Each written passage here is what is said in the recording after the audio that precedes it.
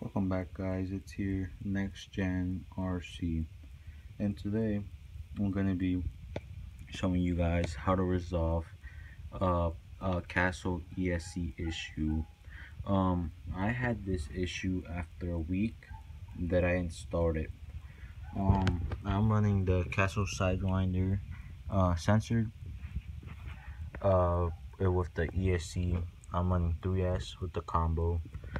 And um the issue i'm to teach you uh how to fix the issue when it won't turn on. So the first thing you're to want to do is find scissors or anything that can cut through wire. I personally used wire cutters. So um first thing i already did this but um cut the switch out. Doesn't matter how much you cut you're gonna wanna cut a little bit more than what you need and uh, put them together.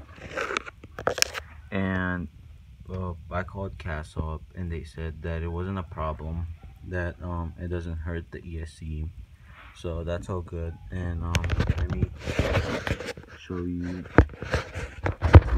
that it turns on so basically it's gonna turn on now. Just by plugging in the battery. You're not gonna have an on and off switch.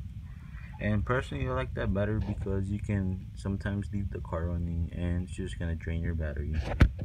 After you do that like I said you can solder it back on or put tape on it. And that's it guys Next time, I'll be doing a tutorial on how to make a DIY RC car stand. Thank you guys, and see you next time.